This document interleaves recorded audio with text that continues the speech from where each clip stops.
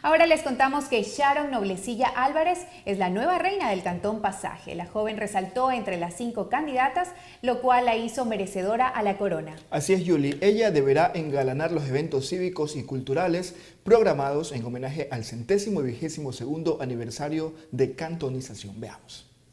La noche del sábado, seis hermosas candidatas lucieron sus encantos y habilidades en la pasarela. Estas bellas jóvenes tenían la misma meta, coronarse como la mujer más bella de la ciudad de las nieves.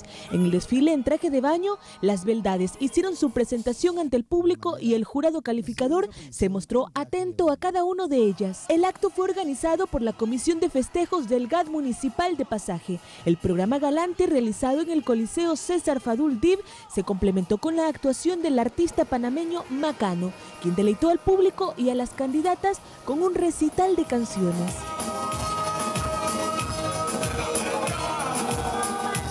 Tarde, las hermosas representantes de la belleza pasajeña lucieron su elegancia y estilo con el desfile de traje de noche. Uno de los momentos más esperados fue observar a las aspirantes responder a las preguntas efectuadas por el jurado. Aquí se demostró que la belleza pasajeña está acompañada de la inteligencia. Finalmente se anunció a Sharon Nair Noblecilla Álvarez como la nueva reina del Cantón Pasaje, quien engalanará los eventos cívicos y culturales programados en al centésimo vigésimo segundo aniversario. Durante el programa se eligió a Dora Bustamante como virreina de pasaje, Angie Salinas, señorita fiestas patronales, Angie Mora, señorita municipalidad, Daniel Aguilar, señorita turismo y Diana Saldañas como señorita confraternidad.